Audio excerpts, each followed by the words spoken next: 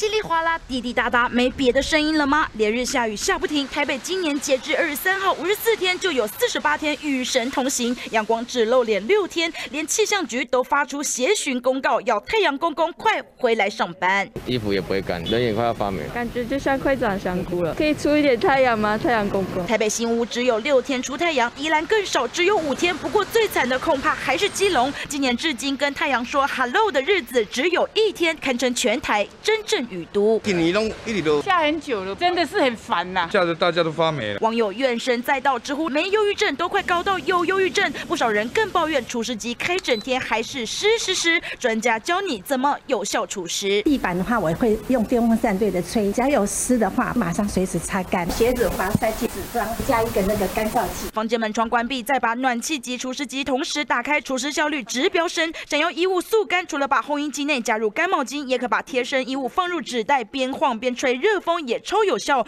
与神同行，把握几招小 paper，太阳公公不上班也能防潮速干。记者朱丁荣、姚立强、黄玉兰，台北基隆采访报道。